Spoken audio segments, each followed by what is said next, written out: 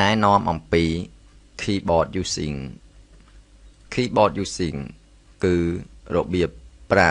keyboard ជាមូលដ្ឋានគ្រឹះក្នុងការប្រើប្រាស់ពន្យល់ពាក្យ keyboard មានន័យថាបន្ទះសម្រាប់ចុចអក្សរបាទអញ្ចឹងនេះ keyboard ដែលយើងប្រើនៅម៉ាស៊ីន desktop យើងហ្នឹងអាម៉ាស៊ីនលើតុហ្នឹងគឺចេញរៀងបែបហ្នឹងឯងគឺ keyboard ដែលយើងប្រើអញ្ចឹងយើងមើលដំបូងគេនេះគេហៅថា num lock អញ្ចឹង num lock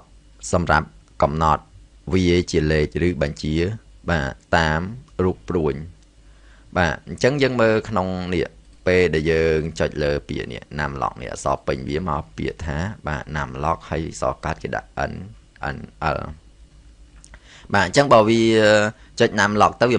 ភ្លឺភ្លឺភ្លើងកន្លែងហ្នឹងមួយនេះកន្លែងទូចនេះមួយនេះ ភ្លឺភ្លើងកន្លែងទូចហ្នឹងមួយទៅអញ្ចឹងភ្លើងកន្លែងហ្នឹងឯងតំណាងឲ្យយើងវាជាលេខតែបើអត់ភ្លឺភ្លើងហ្នឹងទេយើងវាជាសញ្ញាព្រួញបាទអញ្ចឹងចំពោះកុំព្យូទ័រ laptop គឺគ្មាន key នេះទេអញ្ចឹងអានេះគឺមានតែ keyboard ធំហ្នឹងណាពេលដែលកុំព្យូទ័រយើង laptop អត់មាន key ហ្នឹងទេបាទអញ្ចឹងឥឡូវយើងមើលទៀត cursor គឺជាគំនូសពណ៌ខ្មៅ load flip flap សម្រាប់វាយបាទសម្រាប់ កំណត់ទីតាំងវាអក្សរអញ្ចឹងឧទាហរណ៍ថាយើងចុចលើឯកសារយើងពុកមកនេះ keyboard យើងនេះអានេះ load flip flap នេះខ្មៅខ្មៅ load flip flap ហ្នឹងអាហ្នឹងឯងគេហៅ cursor អញ្ចឹងយើងវាយ A ចេញ A វាយ B ចេញ B វាយ C ចេញ C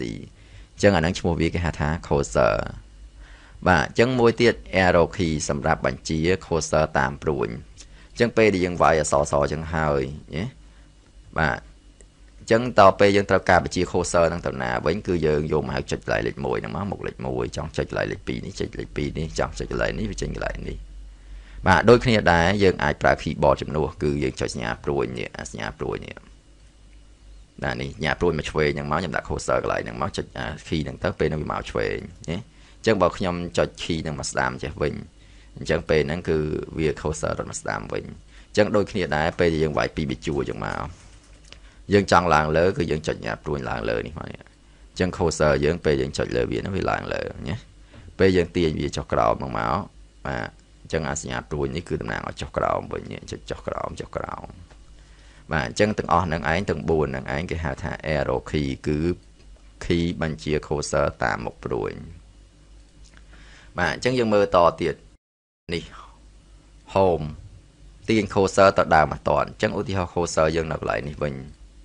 បាទអញ្ចឹងយើងចុច home នេះគឺអក្សរកាត់វានេះវាដាក់ HM នេះ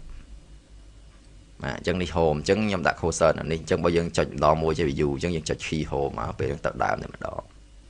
នេះបាទដូចគ្នាដែរ n សម្រាប់រុញ cursor ទៅបាទចង់បន្តអញ្ចឹងខាងក្រោមនេះបាទអញ្ចឹងពេលដែល cursor យើងនៅមុខនេះយើងចង់រុញទៅក្រោយលឿនគឺយើងចុច n key នឹងមកបាទទៅលឿនតែម្ដងនេះម្ដងលឿន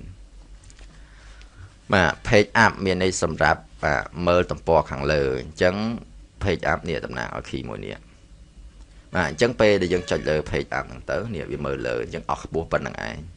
ព្រោះយើងលើផុតហើយអញ្ចឹងយើងចុច page down នេះវិញមកគឺមើលទំព័រក្រោមនេះ page down សម្រាប់បញ្ជាមើលទំព័រក្រោមអញ្ចឹងពេលហ្នឹងយើងចុច page down ហ្នឹងមកវាទៅក្រោមមើលទំព័រក្រោមអស់ហើយយើងចុច page up វិញឡើងលើវិញណាមើលមើលទំព័រក្រោមមើលទំព័រលើស្មើយ៉ាងយើង ទាញអានេះចុះក្រោមបាទឬទាញវាឡើងលើបាទបន្តទៀត escape សម្រាប់បិទ dialog box អញ្ចឹងឧទាហរណ៍ថាយើងចុចលើនេះ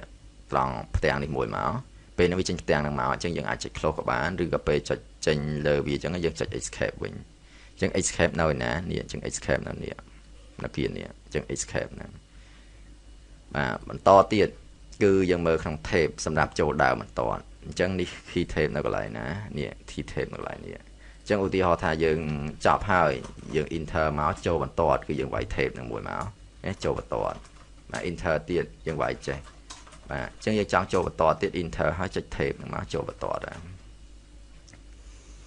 បាទអញ្ចឹង cap lock សម្រាប់វាយ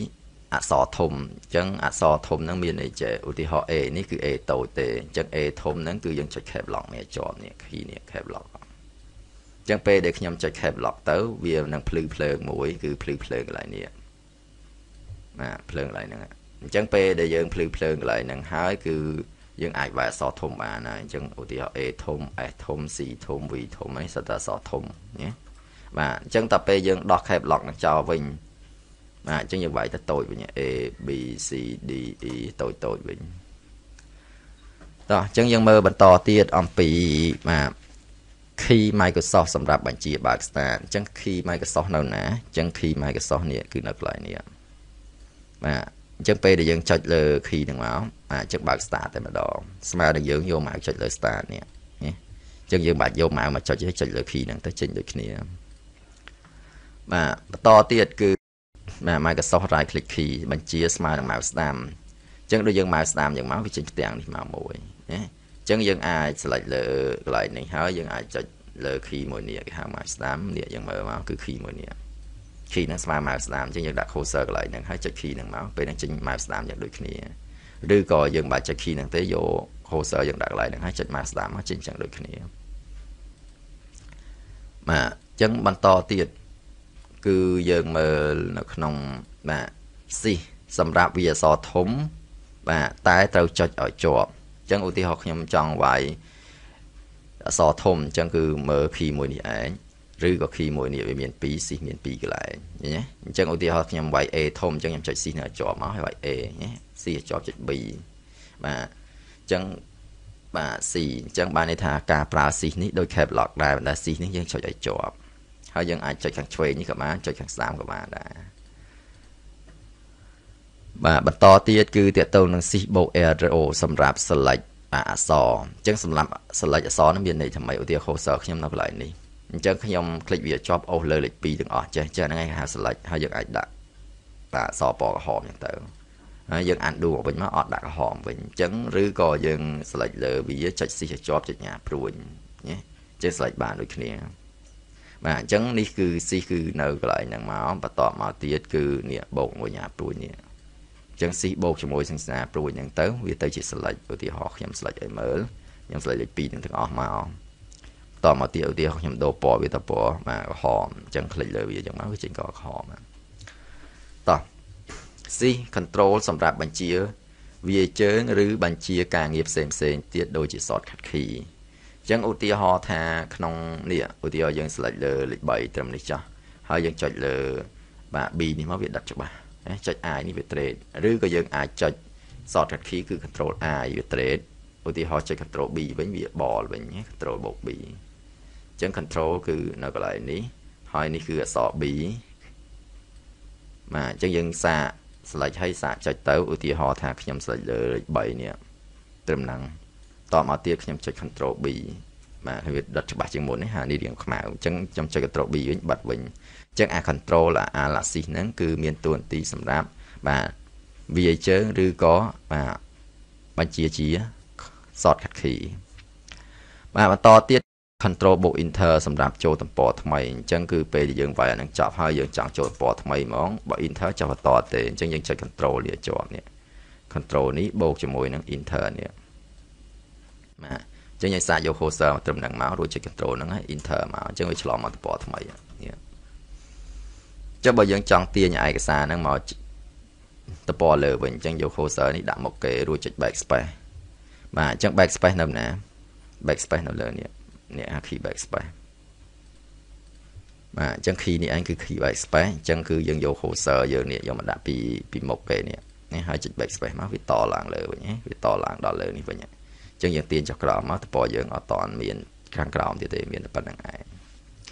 បាទអញ្ចឹង key ផ្សេងផ្សេងទៀតគឺมันជាសំខាន់ទេលេខ1លេខ2 y key អីចេញហ្នឹងអញ្ចឹងគឺ key សំខាន់ខាន់គឺមានប៉ុណ្ណឹងយើងរៀនហើយហើយ